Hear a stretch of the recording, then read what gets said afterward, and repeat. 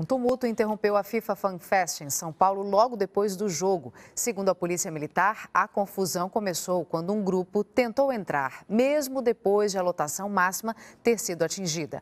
Objetos teriam sido arremessados contra os policiais e eles usaram gás para conter os manifestantes. Segundo os organizadores, os shows e transmissões foram retomados.